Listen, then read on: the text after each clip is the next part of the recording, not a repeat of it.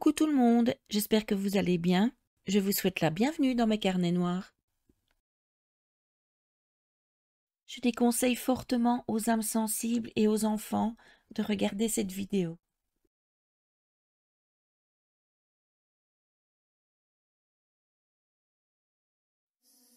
Je vous emmène aujourd'hui en Australie pour découvrir trois histoires. Elles n'ont rien en commun à part le pays où elles se sont déroulées. L'Australie a eu comme monnaie la livre australienne qui a été remplacée en 1966 par le dollar australien qui vaut à l'heure actuelle à peu près 67 centimes d'euros. Les histoires dont je vais vous parler se déroulent à plusieurs époques et pour simplifier les choses, je parlerai pour toutes en dollars. Voilà, c'est parti. Coogee Beach est une station balnéaire très prisée. Malheureusement, en 1935, les nageurs se méfient car il y avait déjà eu trois attaques de requins. Les autorités ont engagé des pêcheurs afin de chasser les prédateurs et de sécuriser ainsi les baigneurs. Oh, je fais des rimes.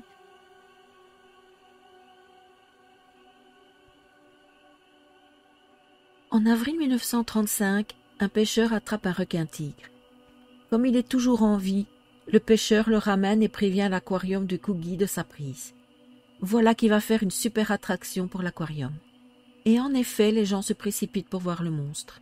Tout va bien pendant quelques jours, mais le requin finit par tomber malade, et sous les yeux horrifiés des spectateurs, il vomit un bras humain le 25 avril. Tous se disent que c'est encore une attaque de requin qui a eu lieu, mais le médecin qui examine le bras écarte cette hypothèse. Le membre a été détaché du corps avec un objet tranchant et non par une morsure. Il s'agit d'un homicide. D'après le médecin, le bras est dans l'estomac du requin depuis huit à dix-huit jours. Il porte un tatouage. Le bras, pas le requin, hein, de deux boxeurs et ses empreintes digitales sont encore exploitables. L'histoire paraît dans le journal avec une représentation du tatouage, afin d'aider à identifier la victime. Et ça marche. Edwin Smith reconnaît le bras de son frère James Smith, plus souvent appelé Jim, né en 1890. Comme Jim était un ancien boxeur et aussi un petit délinquant, il était impliqué dans le jeu illégal, ses empreintes étaient dans les fiches de la police et elles concordent. Voilà, la victime a un nom. Il reste à trouver qui l'a tué et pourquoi. Jim a été vu vivant la dernière fois en compagnie de son ami Patrick Brady qui est faussaire. Ils prenaient un verre ensemble et sont ensuite allés dans le cottage de Brady sur la rive de Gunamata Bay. Le lendemain matin, Brady se rend en taxi chez Reginald Lloyd Holmes, un homme d'affaires qui trempe dans des magouilles pas très légales. Jim Smith travaillait de manière occasionnelle pour Holmes, mais ils étaient en froid suite à une arnaque à l'assurance qu'ils avaient préparée ensemble et qui a mal tourné. Jim se serait alors mis à faire chanter Holmes. La police se demande donc si l'entrevue entre Brady et Holmes le lendemain de la dernière fois où, Jim a été vu a à voir avec la disparition de celui-ci. Il les interroge tous les deux, mais rien n'en sort. Le 16 mai, Brady est arrêté grâce au témoignage du chauffeur de taxi qu'il avait déposé chez Holmes. Selon lui, Brady était échevelé et avait une main dans une poche qu'il ne voulait pas sortir. Le 20 mai, Holmes tente de se suicider en se tirant une balle sur un de ses bateaux, mais il a raté son coup. Il est tombé à l'eau blessé. Il finit par accepter de témoigner que Brady est le responsable de la mort de Jim. Selon lui, Brady a tué Jim l'a démembré, a mis le corps dans une malle et l'a jeté dans la baie de Gunamata. Mais le mobile, on ne le connaît pas. Il serait ensuite venu menacer Holmes en lui montrant le bras de Jim pour avoir 500 dollars. Le bras aurait ensuite fini à l'eau à son tour. Mais voilà, le 12 juin à 1h20 du matin, le corps de Holmes s'est retrouvé dans sa voiture. Il a reçu trois balles dans la poitrine. Plus de témoins et pas de corps. Selon l'avocat de la défense, Jim est peut-être encore en vie quelque part. On peut très bien vivre avec un seul bras. Brady est donc acquitté car il n'y a plus rien contre lui. Il est décédé le 18 avril 1965. La police avait également comme suspect Eddie Wayman, qui est un criminel notoire. Et l'information est rendue publique que Jim Smith était en fait un informateur de la police. Wayman étant un gars qu'il ne faut pas contrarier, il pourrait avoir appris que Smith le trahissait et l'aurait éliminé. Dans un livre, The Shark Arm Murders, sorti en 1995, Alex Castles affirme que Holmes a commandité son propre meurtre pour éviter la honte pour sa famille s'il était condamné. Voilà pour cette première histoire plutôt courte mais néanmoins intéressante. Lynette White est une superbe jeune femme de 26 ans. Elle a tout pour être heureuse. Elle exerce un métier qu'elle adore, celui de coiffeuse. Elle a épousé Paul, l'homme de ses rêves, il y a deux ans en 1970. Elle pratique la danse hawaïenne et, cerise sur le gâteau, elle vient de donner naissance un magnifique petit garçon, Shane, il y a à peine onze semaines. La petite famille vit dans un appartement de Coogee, dans la banlieue de Sydney. Il y a une seule ombre au tableau, et une fameuse. La jeune femme reçoit des appels étranges d'un homme, une voix jeune qui lui dit des choses telles que Je sais où tu habites, je vais venir te chercher. Les coups de fil se sont révélés de plus en plus obscènes au fil du temps. Il a même été jusqu'à dire J'ai un cercueil blanc pour le bébé. Par moments, elle se sentait suivie. Elle a même vu un homme devant chez elle par le Judas de la porte. Le 8 juin 1973, Paul va travailler comme tous les jours au Saint-Georges Pictorial à Hurstville. Linette n'a pas encore repris le travail depuis la naissance de Shane et passe ses journées à chouchouter son bébé. À 10 heures, elle téléphone à son papa pour lui rappeler que c'est l'anniversaire de sa maman. À 19h30, Paul rentre du travail et est étonné car la porte d'entrée de l'appartement est entr'ouverte. Dans les trois couloirs, il aperçoit les jambes de sa femme sur le sol à l'entrée de la chambre de leur fils. Il se précipite et trouve le corps nu de Linette lardé de coups de couteau. Il y a du sang partout. Elle a été poignardée à onze reprises avant d'être égorgée. Le paquet de couches qui devait être livré ce jour-là est par terre non loin du corps. Le petit Shane dort paisiblement à à peine un mètre du corps de sa maman. D'après l'enquête, Linette a ouvert la porte à son assassin. Celui-ci l'a menacé avec un couteau et l'a obligé à se déshabiller. Le livreur de couches, en frappant à la porte, a interrompu le tueur, et Linette a certainement tenté de se diriger vers la porte pour avoir de l'aide. Elle a alors été poignardée. Le tueur a ensuite rentré les couches que le livreur a laissées devant la porte et s'en est servi pour éponger une blessure qu'il s'est faite car elles étaient imbibées de sang. Avec le sang, les armes blanches deviennent glissantes et les agresseurs se blessent souvent. Le meurtre était-il prévu ou il s'agit d'une agression sexuelle qui a mal tourné? Le mari est vite mis hors de cause car il a un alibi en béton. Il était au travail et ses collègues en témoignent. Un homme n'aurait-il pas été obsédé par Linette en assistant à un des spectacles de danse hawaïenne auxquels elle participait? Si elle lui a ouvert la porte, le connaissait-elle? Je vous avoue que je me suis posé des questions quant au livreur de couches, mais il a été éliminé de la liste des suspects également. Mais je n'ai pas trouvé pourquoi. Une autre affaire fait penser à la police que le tueur a récidivé. Le 22 avril, Maria Smith, 20 ans, a été abusée et tuée dans son domicile de Randwick après avoir ouvert la porte à son assassin.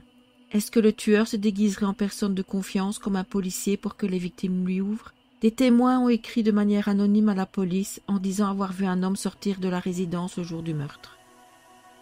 Il avait, je cite, une barbe rousse et des jambes fines.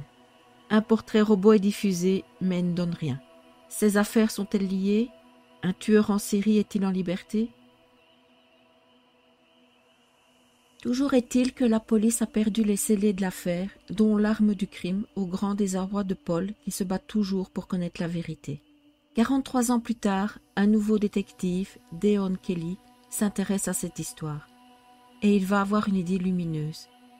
L'appartement n'a pas beaucoup changé depuis le meurtre, juste la déco qui a été refaite. Deon Kelly se dit que si le tueur s'est blessé profondément, son sang a sûrement traversé la moquette.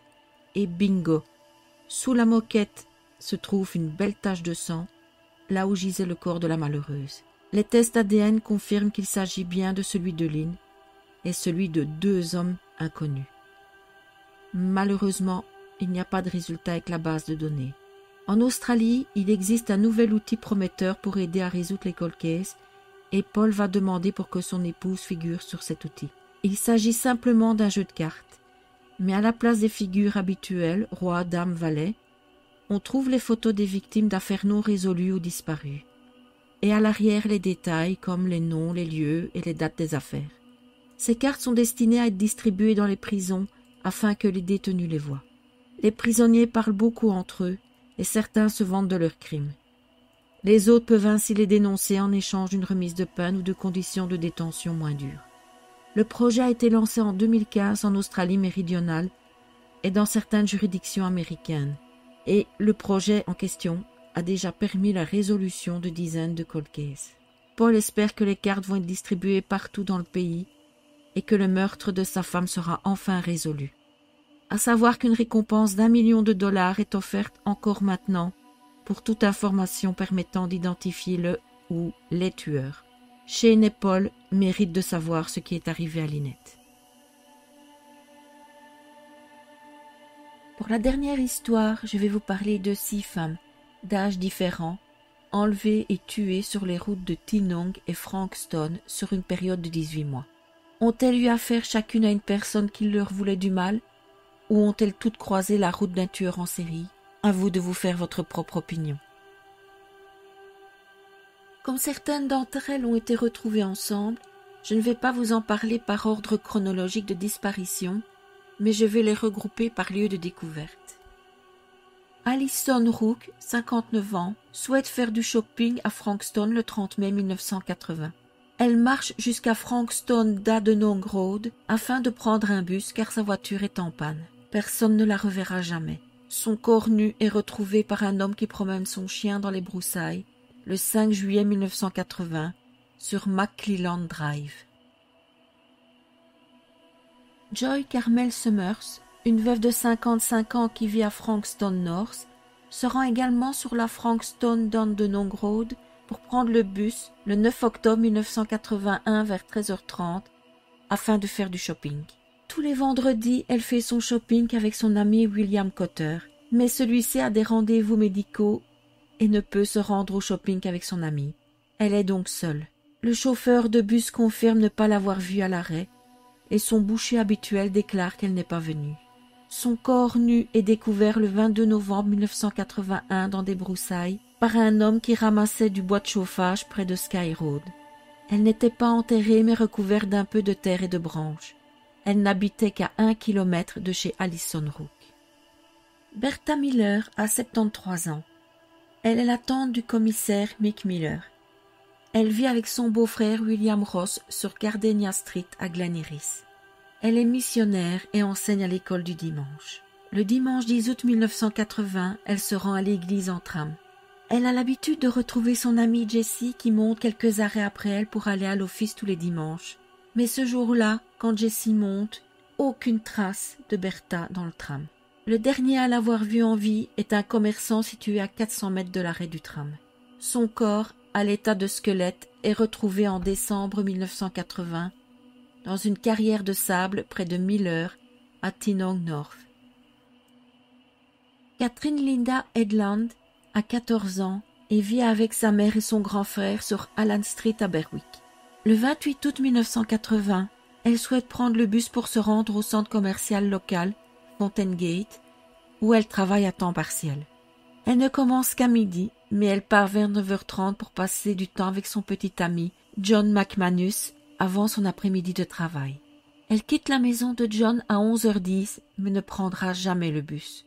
Son corps nu est retrouvé également à Tinong North, dans cette carrière de sable, à 15 mètres seulement de celui de Bertha Miller. Anne-Marie Sargent, 18 ans, vit chez des amis de la famille. Elle ne trouve pas d'emploi et doit prendre le bus pour aller au bureau de chômage et au bureau de poste de Clyde le 6 octobre 1980 afin d'y déposer des documents. Elle passe chez sa mère et va ensuite déposer ses fameux papiers et ensuite elle s'évapore. Son corps est retrouvé avec celui de Catherine et de Bertha. Namurol Stephenson, 34 ans, est d'origine vietnamienne et mère de deux enfants. Elle est mariée avec un producteur de lait, Wayne Stephenson. Pour elle, je trouve vraiment son attitude avant sa disparition très étrange, ainsi que celle de son mari et des amis. Le 28 novembre 1980, elle et son mari vont avec un autre couple à Melbourne pour assister à un concert. Le lendemain, ils vont tous les quatre rendre visite à un ami commun sur Park Street à Brunswick. Mais une fois arrivée sur place, Namurol refuse de sortir de la voiture. Elle est bouleversée. Wen et l'autre couple sont entrés dans l'appartement en laissant Namurol dans la voiture. Son mari descend trois fois pour voir si elle va bien. La deuxième fois qu'il descend, elle se promène sur le trottoir. La troisième fois, elle est en train de parler taille avec un homme dans une voiture. Wayne reste un peu avec elle jusqu'à l'aube et remonte dans l'appartement pour dormir un peu. Quand il redescend ensuite, la voiture là, mais Namurol a disparu. Son corps est retrouvé le 3 février 1983 par un homme qui a crevé un pneu à 100 mètres de la Princess Highway près de Bew Road. Son corps est en partie décomposé, il est dénudé et ses objets personnels ont disparu. On ne sait pas si ces objets étaient pris pour retarder l'identification des victimes ou comme trophée et souvenir pour le tueur. Il en a pris sur chacune des victimes. La question est aussi de savoir pourquoi elles sont toutes montées dans la voiture ou ont toutes suivi un inconnu. On ne connaîtra jamais les causes de ces décès. Les médecins légistes n'ont pas pu l'établir au vu de l'état des corps. Il n'y avait pas de trauma sur les os pouvant indiquer une blessure par arme à feu ou par arme blanche. En 1985, le Bureau of Criminal Intelligence pense qu'il y a trois tueurs. Un pour les trois victimes de Tinong North, un pour Namurol et un autre pour les deux victimes de Frankston. Mais en 1990, le même bureau rejette cette théorie. La probabilité de plusieurs tueurs qui s'en prennent à des femmes sur la route en plein jour et qui commencent et finissent leur série de meurtres au même moment est faible. Le mode opératoire est trop semblable pour qu'il s'agisse de tueurs différents. Seul celui de Namurol se différencie des autres. Les enquêteurs vont aussi faire le rapprochement avec une autre affaire, l'affaire de Turo en Australie méridionale. Alors on est sûr qu'il ne s'agit pas des mêmes tueurs, car ces meurtres ont précédé ceux de Tinong et on connaît l'identité des agresseurs. Les enquêteurs se demandent si notre tueur ne se serait pas inspiré de ceux de Truro. En résumé, sept femmes ont disparu en deux mois, entre fin 1976 et début 1977, et leurs corps ont été découverts dans des branchages par hasard, en état de décomposition. Ils étaient placés proches les uns des autres. Les tueurs ont été identifiés. Il s'agissait de James Miller, 38 ans au moment des faits, et de Christopher Worrell, 23 ans. Celui-ci est décédé dans un accident de voiture avant même d'être soupçonné. Miller a écopé de six peines de prison à perpétuité. Il est décédé en prison le 21 octobre 2008. Le rapport des deux hommes était particulier. Miller était dominé par Worrell, c'est lui qui décidait quand prendre la voiture pour faire le tour des rues et traquer des proies. Y a-t-il aussi deux tueurs à Tinong? S'agit-il d'un copycat? J'aimerais connaître vos avis en commentaire. Parmi les 2000 suspects interrogés, trois vont sortir du lot. Raymond Edmonds, surnommé Monsieur Stinky, est un violeur et tueur en série des années 60 aux années 80 à Victoria. Il a été reconnu coupable de deux meurtres et neuf viols, mais la police pense qu'il en a bien plus à son actif. Il ne va jamais rien avouer. Cependant, il ne vivait pas du tout dans la région lors des meurtres, et la police trouve qu'il n'inspire pas assez confiance pour que des femmes montent dans sa voiture. Bandali Debs est un homme très cruel. Il a été condamné à plusieurs peines de prison à perpétuité pour avoir tué deux policiers et deux prostituées. Il a été suspecté car c'est un homme très violent avec les femmes et il vit près d'une route qui mène facilement au lieu du crime. Une des femmes que Debs a tuées à Sydney a été retrouvée près d'une carrière. Tiens, tiens, ça nous rappelle quelque chose. Mais encore une fois, pas de preuves.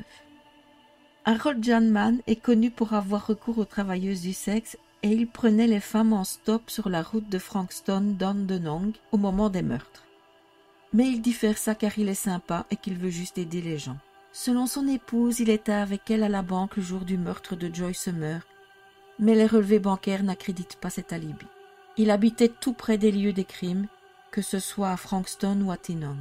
L'enquête à l'époque le désigne uniquement comme responsable des meurtres de Frankston, mais en 1990, un deuxième rapport est fait et le désigne comme responsable de tous les meurtres. Cependant, les preuves contre lui sont circonstancielles et les coïncidences ne font pas de quelqu'un un meurtrier. Il a toujours clamé son innocence et il est décédé le 26 août 2020, deux jours avant le quarantième anniversaire de la disparition de Catherine Edlands. À l'heure actuelle, la police australienne offre toujours une récompense de 6 millions de dollars, soit 1 million par victime, pour toute information sérieuse.